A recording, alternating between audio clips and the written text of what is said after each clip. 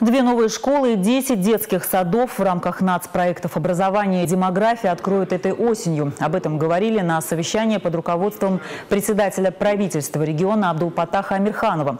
Как отметил премьер-министр, в целом по республиканским и государственным программам в регионе планируется завершить строительство более 100 объектов образования. Абдулпатах Амирханов еще раз напомнил ответственным лицам о необходимости обеспечения качества проводимых работ при строительстве социальных объектов объектов.